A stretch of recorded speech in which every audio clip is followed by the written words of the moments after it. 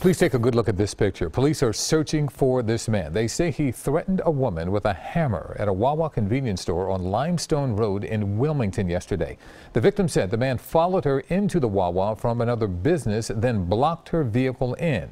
No word what prompted this attempted attack.